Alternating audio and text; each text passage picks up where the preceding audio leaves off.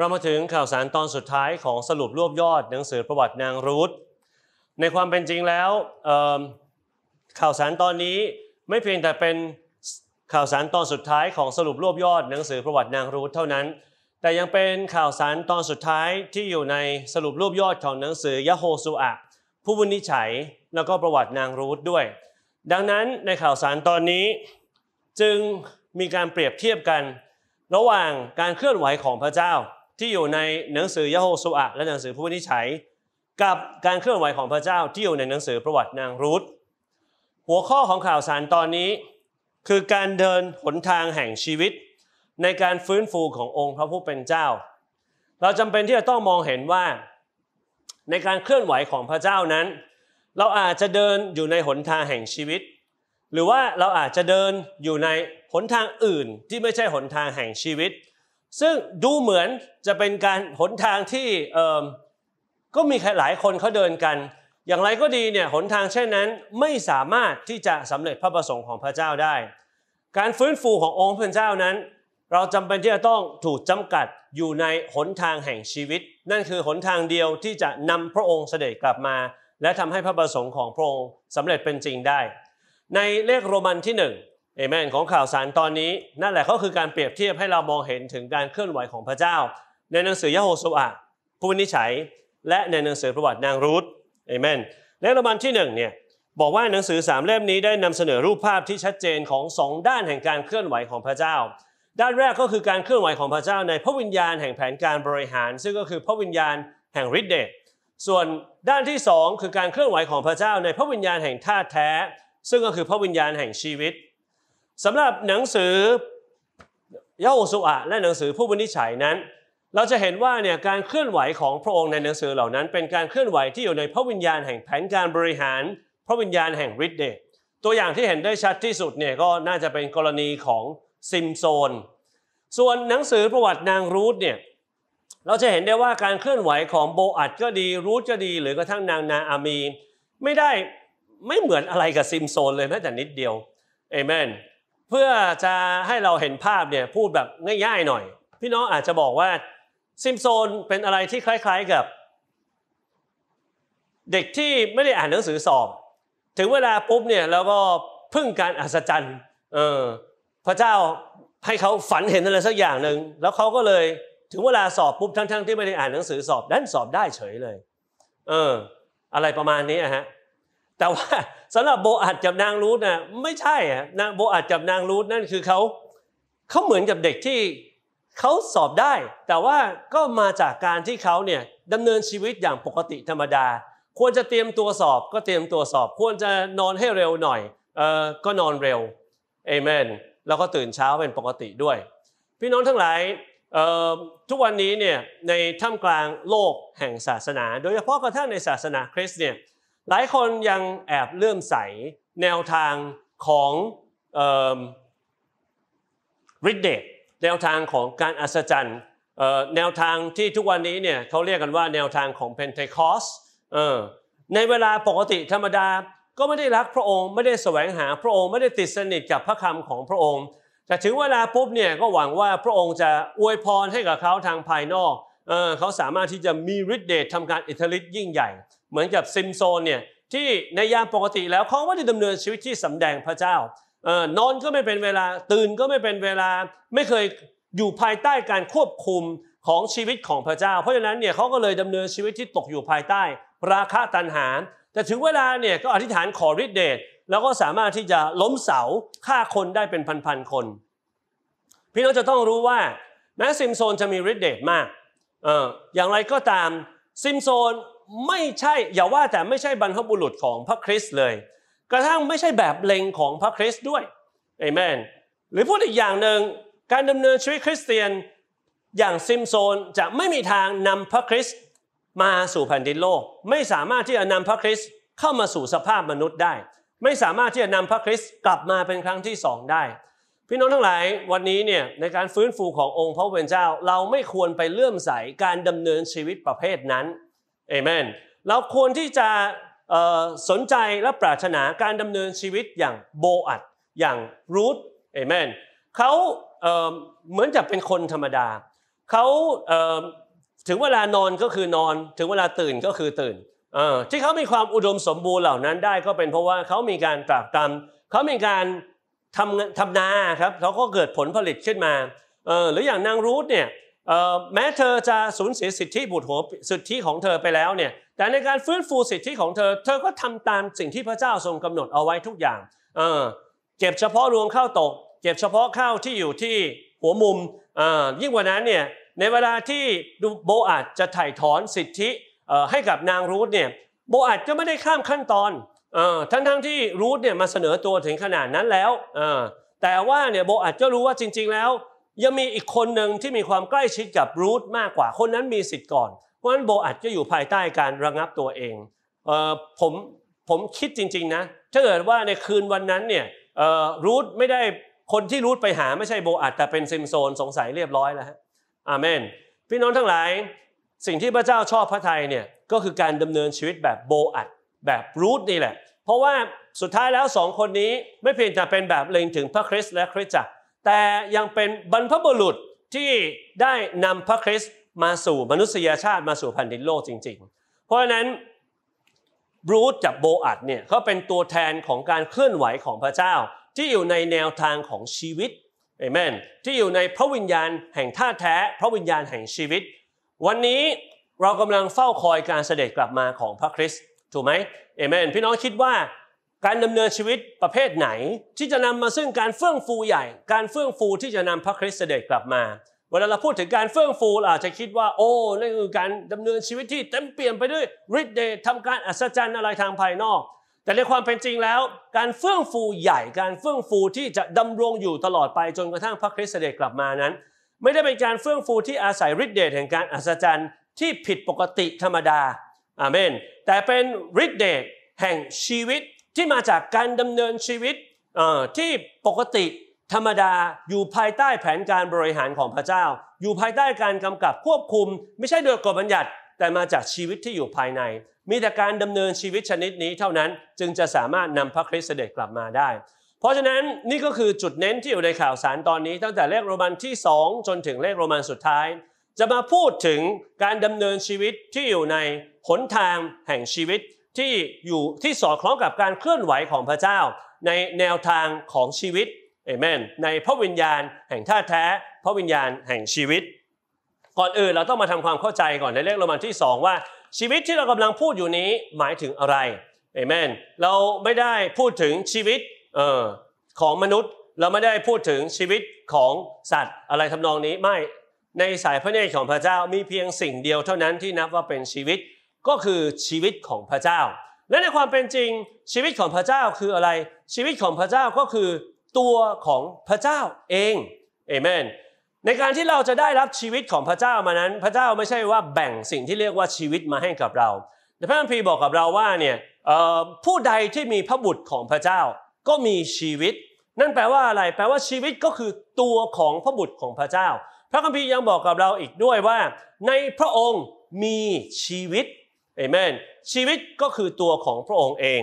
ในโครงล่างเนี่ยอารบิกหนึ่งวงเล็บสองนะครับบอกกับเราว่า ชีวิตก็คือเนื้อหาของพระเจ้า และชีวิตก็คือการไหลออกของพระเจ้า เนื้อหาของพระเจ้าหมายถึงสิ่งทรงเป็นของพระเจ้า การไหลออกของพระเจ้าหมายถึงการที่พระเจ้าทรงแจกจ่ายตัวของพระองค์ เป็นชีวิตให้แก่เรา ยิ่งกว่านั้นชีวิตก็คือพระคริสต์โยฮันบทที่ 14ข้อ6พระเยซูตรัสไว้อย่างชัดเจนว่า พระองค์คือทางนั้นคือความจริง และพระองค์ก็คือชีวิตอาเมนและยิ่งไปกว่านั้นชีวิตก็คือพระวิญญาณบริสุทธิ์ด้วย เพราะฮาเลลูยา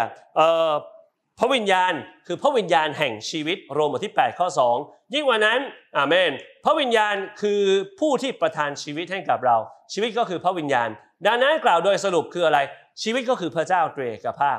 อาเมนแต่พระเจ้าเตรกภาพผู้นี้ไม่ได้ต้องการที่จะเป็นชีวิตในตัวของพระองค์เองเท่านั้น พระองค์ต้องการที่จะแจกจ่ายตัวของพระองค์ให้แก่เราทั้งหลายมาจะมาเป็นชีวิตของเราด้วย นั่นแหละก็คือความหมายของชีวิต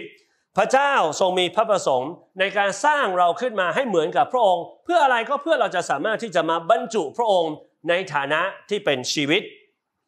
เรื่องต่อมาเมื่อเรารู้แล้วว่าชีวิตคืออะไรเนี่ยเรายังต้องมองเห็นด้วยว่าในพระคัมภีร์นั้นเนี่ยมีหลักการอยู่สองอย่างเอเมนที่แสดงให้เราเห็นผ่านต้นไม้สองต้น ในตอนต้นของพระคัมภีร์เนี่ยพระเจ้าทรงให้อาดัมเลือกอ่าระหว่างต้นไม้สองต้นนี้อาดัมสามารถเลือกได้อย่างอิสระเลยอ่า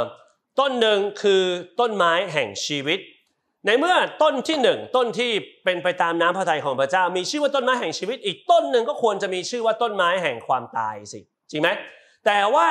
ปรากฏว่าเนี่ยไอ้ต้นไม้แห่งความตาย มันกลับไม่ได้ตั้งชื่อว่าต้นไม้แห่งความตาย ความตายนั้นมีเล่ห์เหลี่ยมไม่ได้เรียบง่ายเหมือนกับชีวิต ความตายนั้นสามารถที่จะซ่อนตัวมาในหลายรูปแบบ ชีวิตก็คือตัวของพระเจ้าเอง ส่วนความตายเนี่ยคืออะไรก็ตามแต่ที่ไม่ใช่พระเจ้า ซึ่งสิ่งนั้นอาจจะเป็นความรู้ก็ได้ อาจจะเป็นความดีก็ได้ และแน่นอนก็คือความชั่วด้วย เพราะนั้นเนี่ยชื่อของต้นไม้ต้นนั้น แม้จะเป็นต้นไม้แห่งความตาย แต่เขามีชื่อเรียกว่า ต้นไม้แห่งความรู้ดีและชั่ว นั่นหมายความว่าไม่ว่าจะเป็นความรู้ความดีหรือความชั่วล้วนสามารถที่จะอาเมน กลายเป็นสิ่งที่ซาตานใช้ในการแจกจ่ายความตายได้ทั้งสิ้นเอเมนพี่น้องทั้งหลายโอ้เราจำเป็นที่จะต้องรู้นะครับว่าในเลขโดยเฉพาะอย่างยิ่งเนี่ยในอารบิกที่ 3 ได้บอกกับเรานะว่าในด้านเดินต้นไม้แห่งชีวิตก็คือตัวของพระเจ้า แล้วต้นไม้แห่ง ความรู้ดีและชั่วล่ะคืออะไร ในที่นี้บอกว่าต้นไม้แห่งความรู้ดีและชั่ว นอกจากจะหมายถึงซาตานตามอาราบิก3แล้วนะวงเล็บหนึ่งก็ยังบอกกับเราว่ายังหมายถึงทุกสิ่งที่นอกเหนือจากพระเจ้าอาเมน ซึ่งทุกสิ่งที่นอกเหนือจากพระเจ้าอาจจะเป็นสิ่งที่ดี อาจจะเป็นสิ่งที่สอดคล้องกับพระคัมภีร์ อาจจะเป็นสิ่งที่อยู่ฝ่ายศาสนา แต่สิ่งเหล่านั้นล้วนเป็นสิ่งที่ซาตานผู้เจ้าเล่ห์นำไปใช้ เพื่อนำความตายเข้ามาสู่คริสตจักรได้ทั้งนั้นแหละ ในพระคัมภีร์เนี่ยในหนังสือโยฮันบทที่ 5 ข้อที่ 39 ข้อที่ 40 ในที่นั้นพระเยซูบอกกับพวกฟาริสายที่เน้นพระคัมภีร์ เน้นกฎบัญญัติมากๆ พระองค์บอกว่าพวกเขาค้นดูในพระคัมภีร์เพราะเขาคิดว่าในนั้นมีชีวิตนิรันดร์แต่ตัวพวกคนคนเหล่านั้นกลับไม่ยอมมาหาพระองค์ เพื่อได้รับชีวิตนิรันดร์นั่นหมายความว่าพระคัมภีร์เนี่ยได้ทำให้พวกเขาเบี่ยงเบนไปจากตัวของพระเยซู แล้วยิ่งไปกว่านั้นตามหนังสือโยฮันบทที่ 5 บทนี้เนี่ยเราจะเห็นว่าเนื่องจากพระเยซูทำการอัศจรรย์ เพื่อที่จะให้คนง่อยคนนั้นได้รับชีวิตในวันสบาโต นักศาสนาเหล่านั้นเนี่ยก็เลยตั้งใจมองหาโอกาสที่จะฆ่าพระองค์ ผู้เป็นชีวิตตั้งแต่วันนั้นเป็นต้นมา โอ้คนเหล่านี้เป็นคนที่อยู่ในศาสนา คนเหล่านี้เป็นคนที่สนใจพระคัมภีร์ด้วย แต่ว่าเนี่ยเนื่องจากสิ่งต่างๆเขา เขาไม่ได้มาสัมผัสกับตัวของพระเจ้าเอง กระทั่งพระคัมภีร์กระทั่งศาสนาดั้งเดิมเนี่ยที่เดิมพระเจ้าประทานให้ผ่านทางโมเสสก็ยังกลายมาเป็นสิ่งที่ทำให้เขาตกเข้าไปในต้นไม้แห่งความรู้ดีและชั่ว ถูกซาตานนำไปใช้ได้ เพราะนั้นพี่น้องทั้งหลายเราต้องระวังให้ดีเอเมนขณะที่เรามาอ่านพระคำของพระเจ้า ขณะที่เราฟังพระคำของพระเจ้าอยู่ในเวลานี้ เราต้องรับการเตือนสติจากพระองค์ว่าพระองค์เจ้าข้าสิ่งที่ข้าพเจ้าต้องการคือข้าพเจ้าต้องการสัมผัสกับตัวของพระองค์เอง มีเพียงพระองค์เท่านั้นที่เป็นชีวิตถ้าเกิดข้าพเจ้าฟังสิ่งต่างๆ เหล่านี้ข้าพเจ้ามีความรู้มากมาย แต่ไม่ได้สัมผัสกับตัวของพระองค์เองข้าพเจ้าก็ยังคงตกอยู่ในต้นไม้แห่งความรู้ดีและชั่ว ตกอยู่ในต้นไม้แห่งความตาย ไม่สามารถที่จะบรรลุถึงพระประสงค์ของพระเจ้าโอเค ต่อมานะครับเอเมนเลขโรมันที่ 4 บอกกับเราว่า จริงๆแล้วอะชีวิตก็คือพระคริสต์แต่พระคริสต์ไม่ได้เป็นแค่ชีวิตเฉยๆแต่ยังต้องมาเป็นชีวิตของเราด้วย ขอบคุณพระเจ้า โคโลสีบทที่ 3 ข้อ 4 บอกว่าพระคริสต์ ทรงเป็นชีวิตของเราทั้งหลาย หลายคนเนี่ยพระคริสต์ของเขายังเป็นพระคริสต์ที่อยู่บนสวรรค์ แต่ว่าสำหรับเราทั้งหลายเนี่ยเราต้องมีประสบการณ์ต่อพระคริสต์ในฐานะที่มาเป็นชีวิตของเรา ไม่มีอะไรที่จะใกล้ชิดไปกับเราเนี่ยมากไปกว่าชีวิตของเราอีกแล้ว การที่พระคริสต์เป็นชีวิตของเรา นั่นหมายความว่าเรากับพระคริสต์ต้องเป็นอันหนึ่งอันเดียวกันเอเมนถูกไหมถ้าเกิดว่าเนี่ยเรากับพระคริสต์ไม่ได้เป็นหนึ่ง พระคริสต์จะกลายมาเป็นชีวิตของเราได้ยังไงอะ โอ้พระเยซูขอบคุณพระองค์ เราขอพระองค์ทรงเปิดเปิดตาให้เรามองเห็น ว่าหลังจากที่เราได้รับความรอดเราได้ต้อนรับพระคริสต์ผู้นี้เข้ามาแล้วเนี่ยตั้งแต่วันนั้นเป็นต้นมาเนี่ยเราก็จำเป็นในแต่ละวันของเราก็ทำการต้องทำการเลือกสรรว่าเราจะเป็นอยู่โดยชีวิตไหน เราจะเป็นอยู่โดยตัวเอง ซึ่งก็คือชีวิตเก่าของเรา อย่างนั้นก็คือตกอยู่ในต้นไม้แห่งความรู้ดีและชั่ว หรือเราจะเป็นอยู่โดยพระคริสต์เอเมนเป็นอยู่ก็คือพระคริสต์ นั่นคือการเป็นอยู่โดยยึดพระคริสต์เป็นชีวิตของเรา นั่นแหละจะทำเราไปสู่ต้นไม้แห่งชีวิตเอเมนเลขโรมันที่5เลขโรมันที่5เนี่ยบอกว่าทุกวันนี้เรามีหนทางที่เป็นไปได้สองหนทางสำหรับการดำเนินชีวิตและการงานของเราต่อเบื้องพระพักพระเจ้า อันนี้มาจากหนังสือมัทธิวบทที่ 7 ข้อ 13 และข้อ 14 ในที่นั้นข้อพระคัมภีร์บอกว่าเนี่ยเราจะต้องเข้าไปทางประตูครับเพราะว่าประตูกว้าง แล้วก็ทางกว้างเนี่ยคนที่พบมีมาก แต่ว่านั่นเป็นทางที่จะนำไปสู่การทำลาย ส่วนประตูครับและทางแคบเนี่ยนั่นคือทางที่จะนำไปสู่ชีวิต และคนที่พบทางนั้นก็มีน้อย พี่น้องทั้งหลายเมื่อเราได้ยินคำเช่นนี้แล้วเนี่ยเราอย่าเพิ่งคิดว่าโอ้ข้าพเจ้าอยู่ในการฟื้นฟูขององค์พระผู้เป็นเจ้าข้าพเจ้าก็อยู่บนทางแห่งชีวิตแน่ๆอยู่แล้วข้าพเจ้าก็อยู่บนทางแคบแน่ๆอยู่แล้วเออผมอยากจะบอกว่าในความเป็นจริงแล้ว เราต้องถามตัวเราเองดูว่าพระองค์เจ้าข้าข้าพเจ้าอยู่ในการฟื้นฟูนี้ก็จริง แต่ข้าพเจ้าคือคนจำนวนน้อยที่ได้พบกับทางแคบนั้นจริง ๆ หรือเปล่าเอเมนโอ้พระเยซูสำหรับประตูคับเนี่ยเออนั่นคือประตูคับไม่เพียงแต่จะกีดกันออกไปซึ่ง การประพฤติหรือภาพปฏิบัติบางอย่างที่ไม่ได้สนใจหลักการกำกับควบคุมของพระเจ้า เอเมนแต่ว่ายังกลั่นกรองไปถึงเหตุจูงใจที่อยู่ภายใน ไปถึงแรงผลักดันที่อยู่ภายใน ว่าสิ่งต่างๆเหล่านั้นเนี่ยเป็นมาจากชีวิตของพระองค์จริงหรือเปล่าเอเมนแล้วนอกจากเมื่อเราเข้าไปทางประตูครับ ซึ่งต้องผ่านการจำกัดแล้วเนี่ยตลอดทั้งชีวิตที่เหลืออยู่ของเรา เราก็ยังต้องถูกควบคุมจำกัดไว้อยู่บนทางแคบ ประตูครับเนี่ยอาจจะเป็นแค่เป็นแค่จุดหนึ่งในชีวิตที่เราเดินผ่านเข้ามา อาเมน แต่ว่าหลังจากนั้นเราต้องรักษาตัวเองให้เดินอยู่บนทางแคบตลอดไป ในการฟื้นฟูขององค์พระผู้เป็นเจ้านั้นเนี่ย ถ้าเราต้องการที่จะเดินอยู่บนทางที่จะนำไปสู่ความเที่ยงแท้ของอาณาจักรในวันนี้ นั่นคือความหมายของคำว่าชีวิต ในข้อนี้บอกว่าเนี่ยประตูคับทางแคบนำไปสู่ชีวิต ความหมายก็คือนำเราไปสู่ความเที่ยงแท้ของอาณาจักรในวันนี้ และจะนำเราเข้าสู่อาเมนการปรากฏของอาณาจักรอันเป็นบำเหน็จของเราในวันหน้า เราจะต้องมองเห็นว่าเนี่ยถ้าเราต้องการที่จะเดินเเข้าประตูครับ แล้วก็เดินทางแคบนี้ เราไม่สามารถที่จะอเมนเ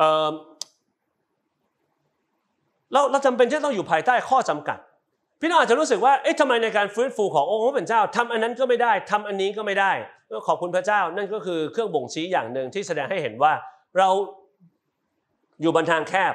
เราไม่สามารถที่จะใช้วิธีการฝ่ายโลก ในการที่จะมาประกาศกิติคุณ เราไม่สามารถที่จะอาศัยช่วงเทศกาลเออที่ใครๆคิดว่าสิ่งนี้มีเพื่อพระคริสต์อย่างที่เขาเรียกกันว่าคริสต์มาสเนี่ยเพราะนั่นนั่นคือหนทางของฝ่ายโลกเรามองเห็นว่าต้นตอของคริสต์มาสก็ผิดมาตั้งแต่แรกอยู่แล้ว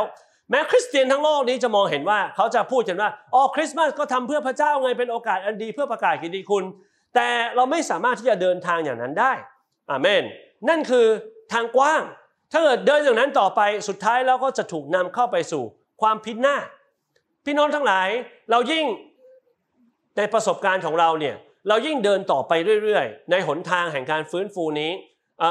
เรายิ่งรับการจำกัดจากชีวิตของพระเจ้า เรายิ่งมีการเติบโตในชีวิต เราก็จะยิ่งพบว่าเนี่ยในความเป็นจริงแล้ว ไม่ใช่ว่ายิ่งเติบโตในชีวิตก็ยิ่งทำได้สารพัดเป็นอิสระไม่ใช่นะชีวิตนี้เนี่ยก็จะยิ่งควบคุมเรา ปกครองเราอาเมน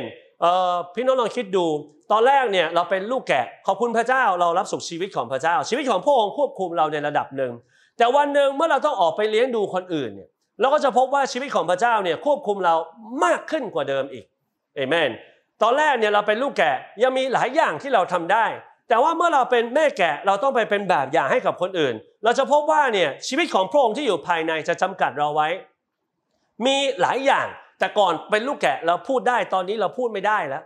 มีหลายอย่างแต่ก่อนเป็นลูกแกะเรากินได้เนี่ยตอนนี้กระทั่งกินยังกินไม่ได้เลยอะเอเมน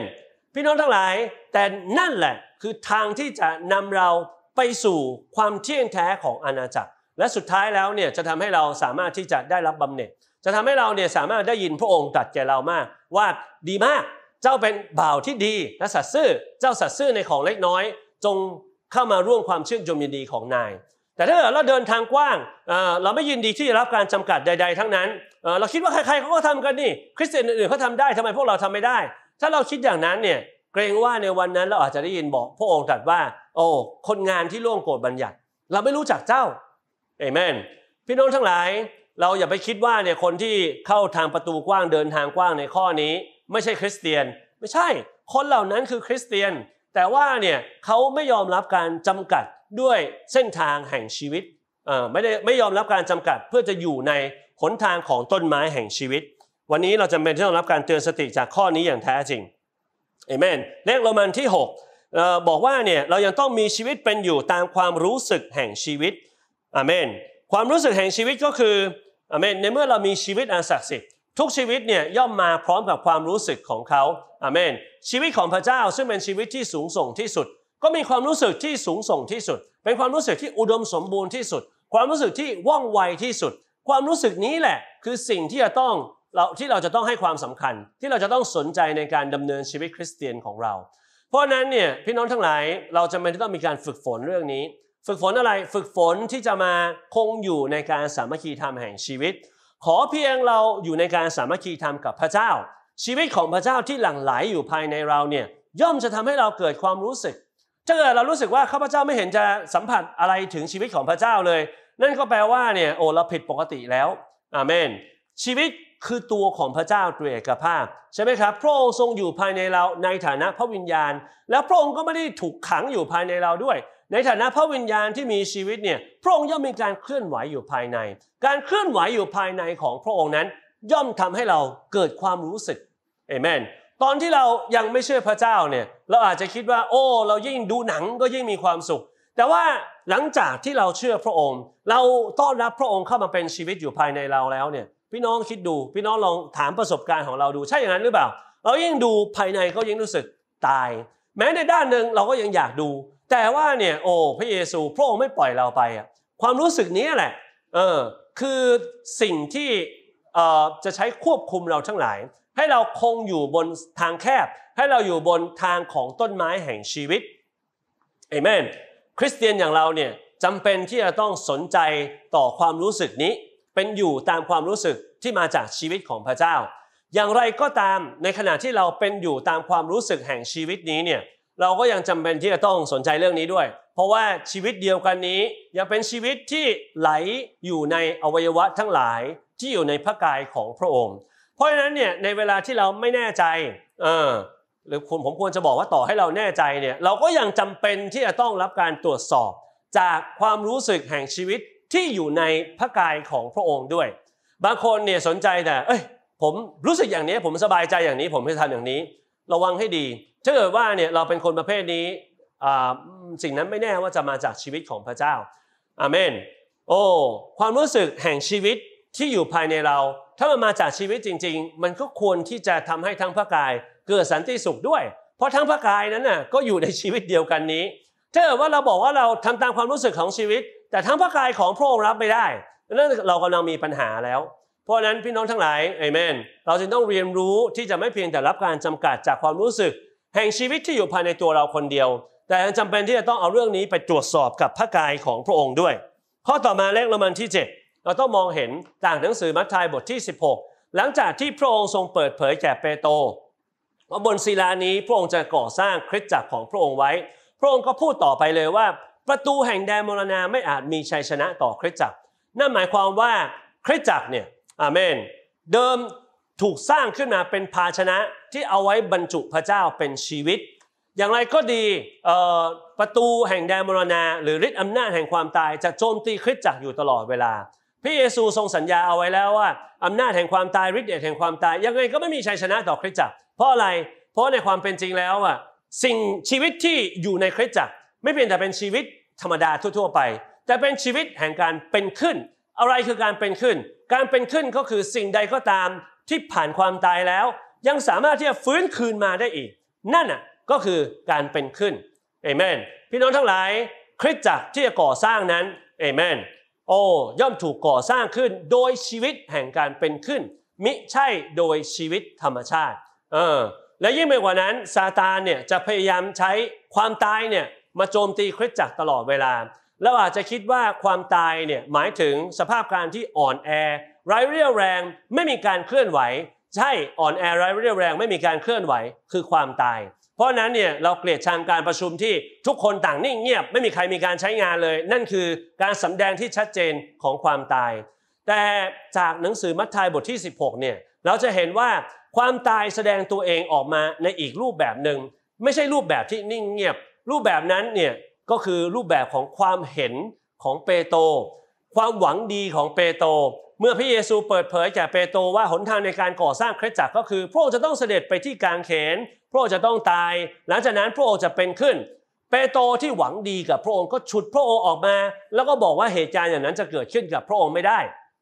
พระเยซูก็เลยบอกกับเปโตรว่าไอ้ซาตานจงถอยไปข้างหลังเรา ทำไมเปโตรถึงเป็นซาตาน เพราะว่าเปโตรไม่ได้คิดในเรื่องราวของพระเจ้า ไม่ใส่ใจน้ำพระทัยของพระเจ้า สนใจแต่คิดในเรื่องราวของมนุษย์ สนใจแต่ความเห็นของมนุษย์เอเมน แล้วพระเยซูก็บอกว่าใครจะติดตามพระองค์คนนั้นต้องปฏิเสธตัวเอง นั่นหมายความว่าเนี่ยที่เปโตรออกความเห็นว่าเรื่องอย่างนั้นไม่ควรจะเกิดขึ้นกับพระองค์ ที่เปโตรฉุดพระองค์ขัดขวางพระองค์ไว้ด้วยความหวังดี ความเห็นที่มาจากความหวังดีนั้น ก็คือตัวเอง และการกระทำใด ๆ ที่มาจากตัวเอง ล้วนเปิดช่องว่าง ให้ความตายเข้ามาโจมตีคริสตจักรได้ เพราะฉะนั้นพี่น้องทั้งหลายเอเมน ผมถึงบอกว่าทางที่อยู่ในการฟื้นฟูขององค์พระผู้เป็นเจ้า เป็นทางแคบ ไม่ใช่ทางที่เดินกันตามความเห็น ความสบายใจ ความชอบใจของเราเอเมน แต่ว่าเนี่ยเราจำเป็นที่จะต้องมองเห็นนะครับว่าโออะไรก็ตามแต่ที่ไม่ได้กระทำในชีวิตแห่งการเป็นขึ้นน่ะ ล้วนแต่ไม่สามารถก่อสร้างคริสตจักร ล้วนจะนำไปสู่การทำลายทั้งสิ้น โอ้พระเยซูขอพระองค์ทรงโปรดเอเมนเปิดตาให้เรามองเห็นนะ แล้วก็อย่าอย่าให้เราพลาดกลายเป็นคนเปิดประตูแห่งแดนมรณาโดยการใช้ความเห็นของเรา โดยการตกอยู่ในชีวิตฝ่ายจิตของเราหรือการไม่ยอมแบกกางเขนโอ้พระเยซูเอเมนและข้อสุดท้ายแล้วข้อสุดท้ายเนี่ย อ้พระเยซูข้อนี้นี่สำคัญมาก เราทั้งหลายรู้ว่าเราได้ออกจากความตายเข้าสู่ชีวิตแล้ว เพราะเรารักพี่น้อง ในข้อนี้เนี่ยมาจากหนังสือ 1 โยฮันบทที่ 3 ข้อ 14เอ่อวรรคแรก แต่ผมจะอ่านวรรคหลังแล้วข้อ 15 ให้พี่น้องฟังด้วยวรรคหลังบอกว่าผู้ใดที่ไม่รักพี่น้อง ผู้นั้นก็ยังคงอาศัยอยู่ในความตาย แล้วข้อ 15 บอก ผู้ใดที่เกลียดชังพี่น้องของตนก็คือผู้ที่ฆ่าคน เอเมน และผู้ที่ฆ่าคนนั้นไม่มีชีวิตนิรันดร์อยู่ในเขาเลย พี่น้องจะเห็นว่าเนี่ยในข้อนี้เนี่ยพูดถึงหลายระดับด้วยกันนะหนึ่งก็คือเกลียดพี่น้องไปเลยเออระดับต่อมาพี่น้องก็บอกให้ผมไม่ได้เกลียดพี่น้องซะหน่อยไม่เกลียดพี่น้องแล้วรักพี่น้องไหมอะเออพี่น้องบอกเฉยๆไม่เกลียด แต่ก็ไม่ถึงขนาดรักอาเมนเอ่อถ้าเกลียดพี่น้องนั่นคือผู้ฆ่าคนไม่มีชีวิตนิรันดร์ถ้าเกิดว่าไม่เกลียดแต่ก็ไม่รักด้วย ข้อ 14วรรคหลังบอกว่า นั่นก็แสดงว่าเนี่ยเรายังคงอาศัยอยู่ในความตายอะเอเมนมีเพียงผู้ที่รักพี่น้อง คนคนนั้นน่ะถึงจะมีข้อพิสูจน์ว่าเขาได้ผ่านพ้นความตายเข้าสู่ชีวิตแล้ว พี่น้องทั้งหลายในการดำเนินชีวิตคริสตจักรเนี่ยเอเมนที่เราพูดถึงการที่เราจะเป็นโบอัดคนที่เดินอยู่ในหนทางแห่งชีวิตเนี่ยเขาไม่เพียงแต่สนใจแต่ตัวของเขาเอง แต่ว่าเขารักพี่น้อง รักที่จะไปฟื้นฟูการรับสุขที่พี่น้องของเขามีต่อพระคริสต์เอเมน การที่เรามีภาระต่อพี่น้อง มีภาระต่อเพื่อนกิติคุณด้วย มีภาระที่จะให้พี่น้องมีการเติบโตในพระคริสต์ให้เพื่อนกิติคุณได้รับความรอดอให้คริสตจักรของพระองค์มีการก่อสร้างไอ้เรื่องนี้เนี่ยเป็นข้อพิสูจน์ว่าเราเป็นอยู่ในชีวิตของพระเจ้าจริงๆเอเมน เราบอกว่าเราต้องเดินอยู่ในเราต้องเลือก ต้นไม้แห่งชีวิต เราต้องเดินอยู่ในทางแคบ เราจะต้องเอเมน โอ้เป็นอยู่โดยชีวิตแห่งการเป็นขึ้น พิสูจน์ยังไงอะก็พิสูจน์ในเรื่องนี้แหละ ว่าเรารักพี่น้องหรือเปล่า ไม่ใช่แค่ไม่เกลียดพี่น้องนะอาเมนแต่ต้องรักพี่น้องอย่างแอคทีฟนั่นน่ะคือข้อพิสูจน์ว่าขอบคุณพระเจ้า เราได้ประสบการณ์กับชีวิตของพระเจ้า โอ้และโดยความรักที่ซึ่งก็คือตัวของพระเจ้าเองเนี่ยที่ได้สำแดงออกมาในการดำเนินชีวิตของเรา เอเมนความรักที่แท้จริงคืออะไร ความรักก็คือตัวของพระเจ้า ในฐานะชีวิตที่ได้ดำเนินชีวิตออกมาจากตัวเรา เมื่อชีวิตนี้สำแดงออกมาจากตัวเรา สิ่งที่สำแดงออกมานั้นก็คือความรักอเมนโดยการดำเนินชีวิตที่อยู่ในความรักของพระเจ้าเช่นนี้แหละฮาเลลูยาคริสตจักรทั้งพระกายของพระองค์ก็จะก่อสร้างตนเองขึ้นในความรัก นั่นก็คือหนทางที่อยู่ในการฟื้นฟูขององค์พระผู้เป็นเจ้า โอ้พระเยซูขอพระคุณพระองค์ขอพระองค์สวดอวยพรแก่เราทุกๆคน อย่าให้เราไปเลื่อมใสหนทาง แห่งการอัศจรรย์หนทาง แห่งฤทธิ์เดชทางภายนอกแต่แต่ว่าเนี่ยให้เราใส่ใจต่อการที่เราจะต้องเดินอยู่บนหนทางแห่งชีวิต ซึ่งแม้จะดูทางภายนอกแล้วปกติธรรมดา ทุกๆวันก็ต้องตื่นเช้า ทุกๆวันก็ต้องมาติดต่อกับพระองค์ ไม่ได้มีอะไรพิเศษอาเมน แต่ขอบคุณพระองค์ในหนทางเช่นนี้เอเมน เรามีพระเจ้าที่แจกจ่ายตัวของพระองค์เข้ามา โอ้เราไม่เพียงแต่อ่านพระคำแต่เรามีพระองค์ที่ตรัสกับเราอยู่ภายในเอเมนโอ้โดยการตรัสของพระองค์เราจะมีความสว่าง เราจะมีชีวิต และเมื่อเราอยู่ภายใต้การแจกจ่ายแห่งชีวิตของพระเจ้า เมื่อชีวิตนี้ถูกนำเราถูกเราเรานำไปดำเนินชีวิต และสำแดงออกมาก็จะกลายเป็นความรัก และในความรักเช่นนี้แหละฮาเลลูยาเอเมนโอ้ในบรรยากาศแห่งความรักนี้ ในขอบเขตแห่งความรักนี้ เราจึงได้สัมผัสกับองค์ประกอบแห่งความรัก เราสัมผัสกับท่าแท้แห่งความรัก เราสัมผัสกับตัวของพระเจ้าเองอาเมน ผู้เป็นแหล่งกำเนิดของความรัก และเราก็สามารถที่จะก่อสร้างเข้าด้วยกันกับพี่น้องทั้งหลาย กลายเป็นพระกายของพระองค์ได้ ขอบคุณและสรรเสริญพระองค์สุดท้ายฮาเลลูยาโดยการรักษาตัวเราอยู่ในเส้นทางแห่งชีวิต เราก็จะกลายเป็นผู้ที่นำพระคริสต์มาสู่มนุษยชาติอีกครั้งหนึ่ง โดยการเสด็จกลับมาครั้งที่สองของพระองค์มีเพียงผู้ที่อยู่ในเส้นทางแห่งชีวิต จึงจะมีคุณสมบัติที่จะนำพระคริสต์เสด็จกลับมาได้สรรเสริญพระองค์ อาเมน